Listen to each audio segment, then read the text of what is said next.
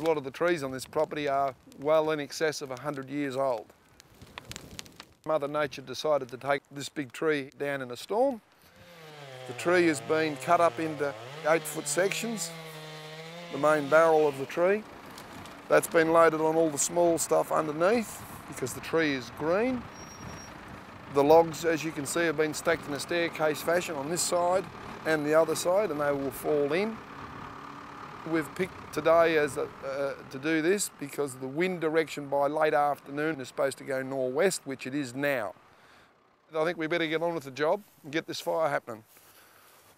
I went and collected some of the pine needles.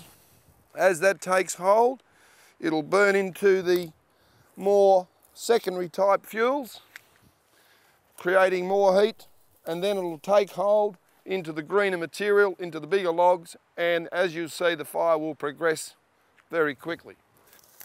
And as you put the stuff on, you put your bigger stuff on like I'm doing, and there's getting a bit of heat in this fire. There'll be no stopping this now. This is going to go.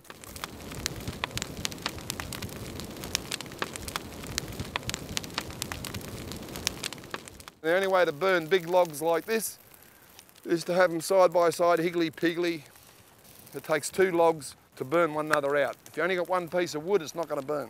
Doesn't matter how big or small it is. You can see the fire attaching itself to the end of the log where the resin has come out of the timber since I've cut it.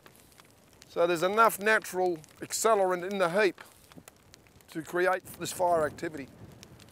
And now the breeze is getting into your, your flame, that she's really starting to get heat. As you can see, the fire activity is like a bushfire now out this side. Gives you some idea, if you live in the bush areas, that's what you're going to get. The wind now is lifting the bark and we've got an ember fallout. You can see them against the sky. The fire is building because of the wind. So if this was in a suburban situation, you'd be burning your neighbour out five houses up. So it's not recommended to do this in the backyard.